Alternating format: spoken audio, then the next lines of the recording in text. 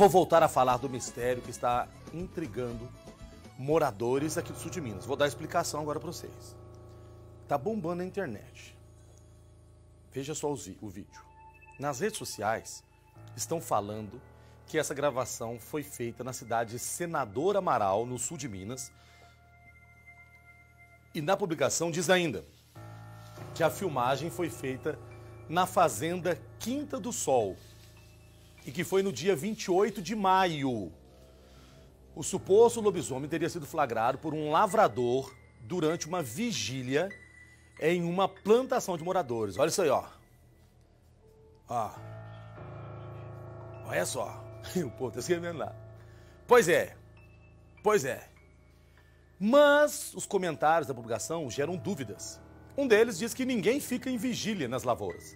Num outro, uma moradora diz que nunca ouviu falar da fazenda Quinta do Sol.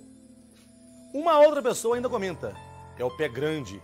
A nossa produção apurou e descobriu que o tal vídeo já circula na internet há pelo menos uma semana.